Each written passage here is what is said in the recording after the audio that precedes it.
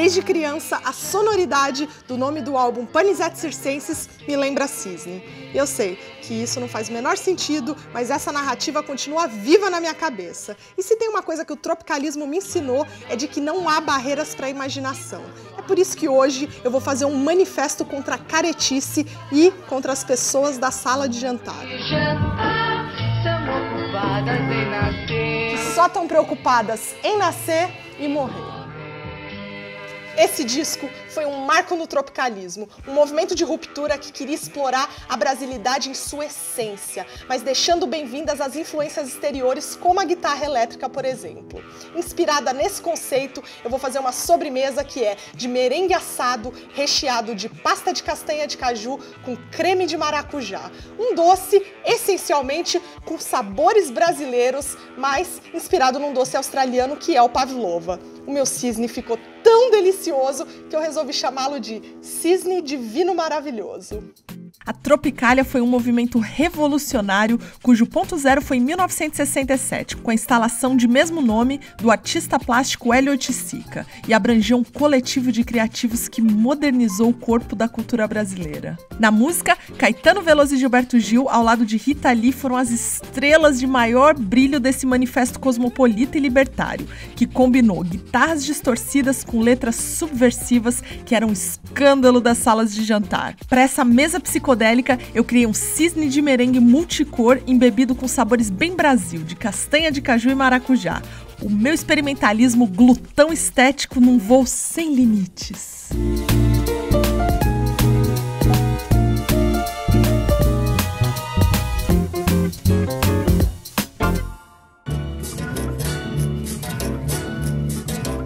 O rei da brincadeira.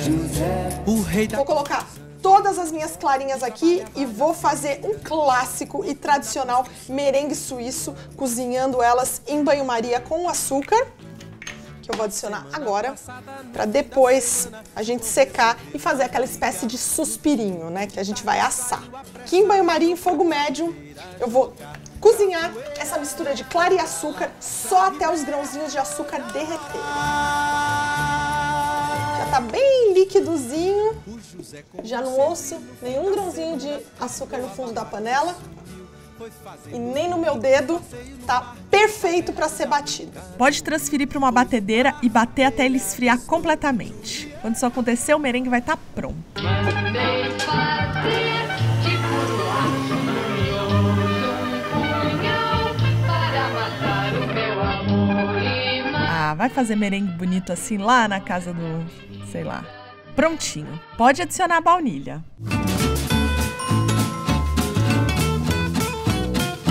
Não a fava, é o extrato. Adicione também o amido de milho.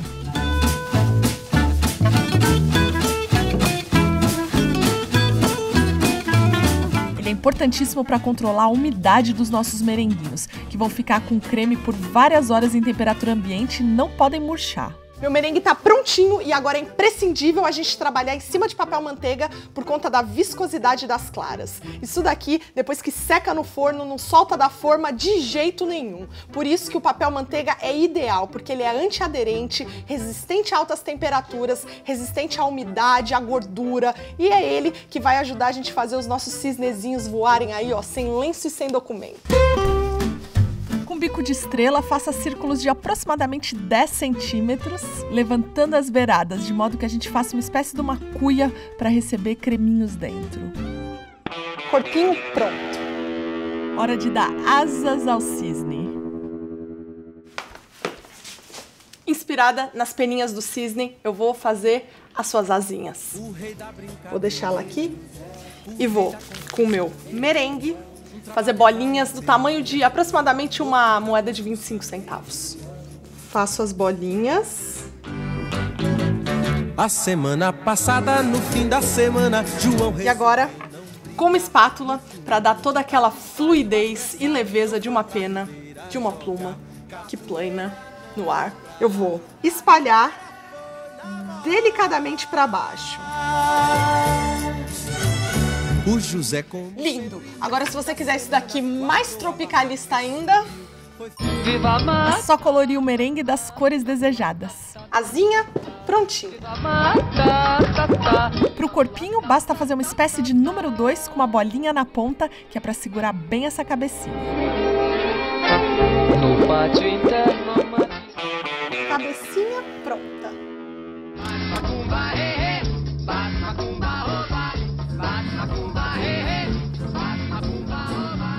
Bate macumba, ê, bate macumba. Os merenguinhos vão assar a 90 graus por aproximadamente 45 minutos ou até eles ficarem sequinhos. É por isso que o forno tem que ser baixinho, porque o merengue tem que ficar branquinho igual o cisne. Merengue bom é assim, crocante, sequinho e branquinho. Não interessa quanto tempo ele vai ficar no forno. Caso demore muito, Macumba, ê, bate ma. Bate macumba, ê, bate. Bate macumba, ê, bate. Macumba, ê. Hora de fazer suco de maracujá.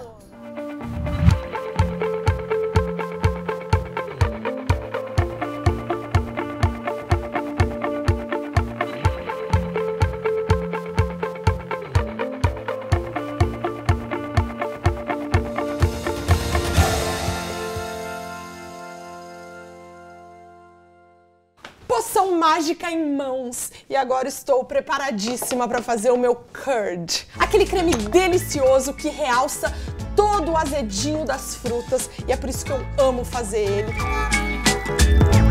Aqui na minha panela eu coloquei o suco de maracujá fresco, vou adicionar o açúcar.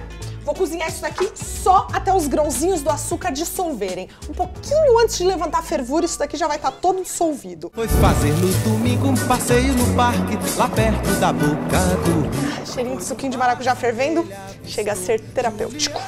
Vou desligar o fogo que já dissolveu, ui, todo o açúcar. Enquanto isso, eu vou bater aqui na minha vasilha os ovos. Todo curd leva ovo e é assim que ele fica super cremoso. É isso que engrossa ele e que dá corpo pro nosso curdzinho. Na vasilha de ovo, eu vou adicionar o meu açúcar Juliane e o e amigo. vou bater isso daqui até ficar esbranquiçadinho. Não pode esquecer que depois que bate açúcar com ovo, não pode deixar descansar muito tempo, porque o açúcar ele cozinha o ovo, assim como o sal cozinha os alimentos. O açúcar também. Beautiful.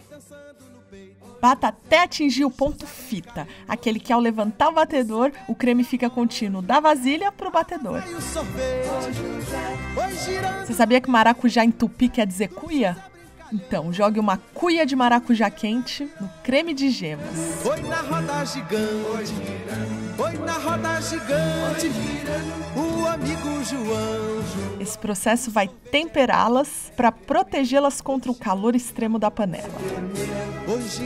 Volte tudo para a panela e pode cozinhar em fogo baixo, mexendo sempre, é claro. E todo esse aerado fofinho vai diminuir, não se preocupe que é assim mesmo. Assim que o creme engrossar o suficiente para cobrir generosamente a colher que você está mexendo, ele está no ponto correto. Olha essa texturinha aveludada, perfeita para adicionar minha gelatina. Eu quis cantar minha canção Eu vou hidratar as minhas gelatinas em água bem fria por mais ou menos 5 minutos, que é o tempo que elas levam para ficarem assim bem molinhas. Com ela hidratadinha, a gente pode tirar todo o excesso de água e jogar no nosso curd de maracujá, que tem que estar quente, porque senão a gelatina não derrete. E aí é só misturar, misturar, misturar, misturar, até derreter e misturar. Com a gelatina dissolvida, pode adicionar manteiga aos poucos, mexendo até ela incorporar completamente e derreter também. O calorzinho desse creme faz milagres.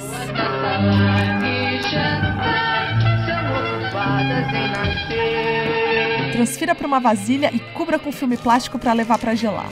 Não se preocupe que a gelatina não vai endurecer esse creme demais, vai ganhar aquela textura perfeita para ficar tenro em temperatura ambiente, mas sem ficar borrachudo.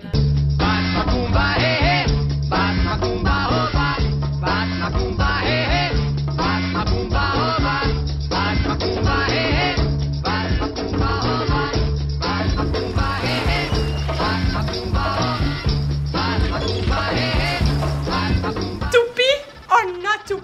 Eis a questão. Mentira, que a questão agora ai, é só montar o nosso cisne maravilhoso. Pego primeiro o meu merengue assadinho, crocante, durinho, coloco no meu prato. Aí eu venho aqui com a minha manteiga de castanha de caju. Mas como eu já te ensinei a fazê-lo, é só clicar aqui que você vai direto pro vídeo. E aí eu vou vir por cima disso daqui. Olha a textura do meu curd, olha como ele ficou maravilhoso. Olha isso. Eu não resisto. Aqui em cima eu vou colocar uma colherada generosa do meu creme de maracujá, meu curd de maracujá.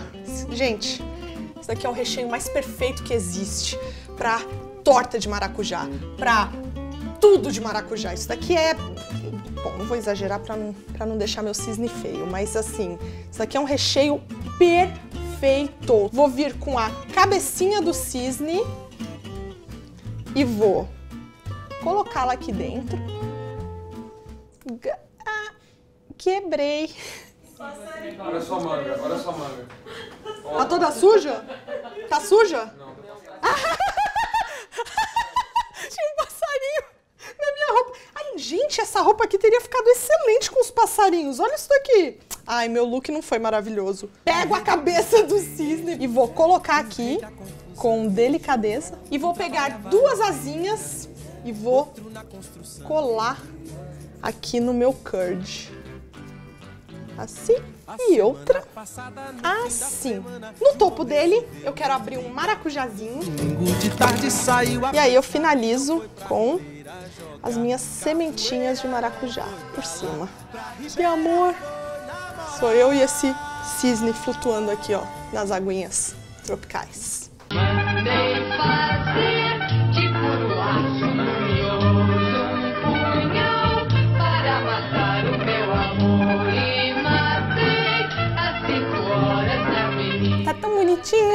Que eu fico um pouquinho sem coragem de provar. Mentira.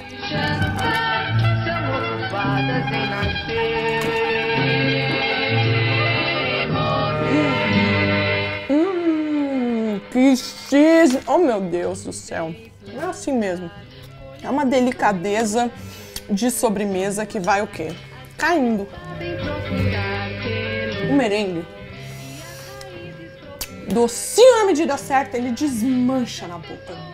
Ele é crocante, mas ele não é aquele crocante duro. Ele derrete, porque quando ele entra em contato com umidade da boca, ele derrete, ele se desfaz.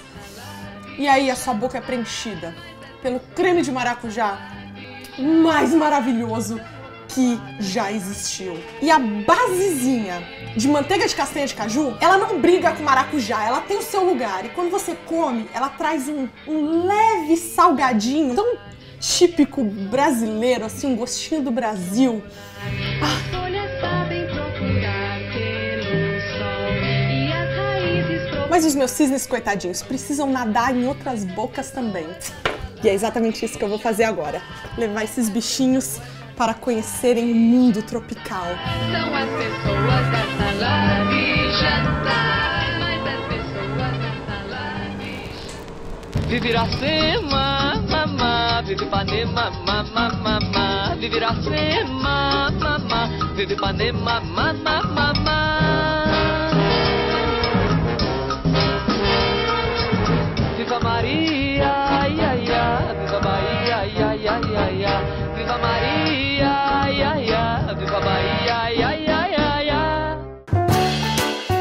Se a sua festa estiver miada, sem rei da brincadeira e sem rei da confusão, tem salvação.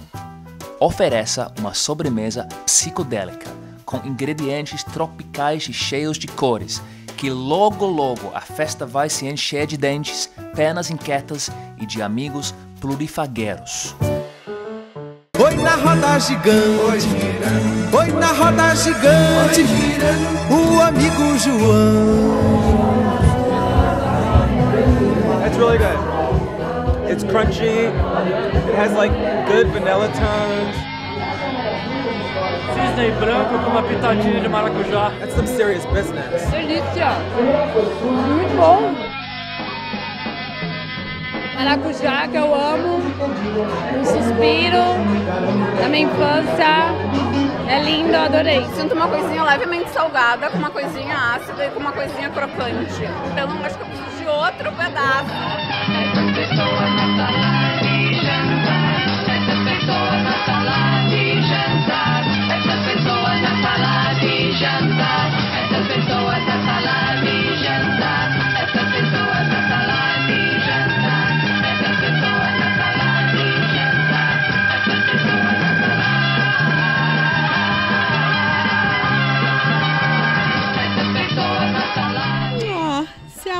Esse episódio, assistiu até o fim. Tentou me odiar, mas não conseguiu, porque eu sou muito fofa. Toda quarta e domingo tem episódio novo, então se inscreva no canal que é pra não perder essa deliciosidade que sou eu e os meus docinhos também. Até engasguei. Só deixa comentário se for de amor. Um beijo, tchau.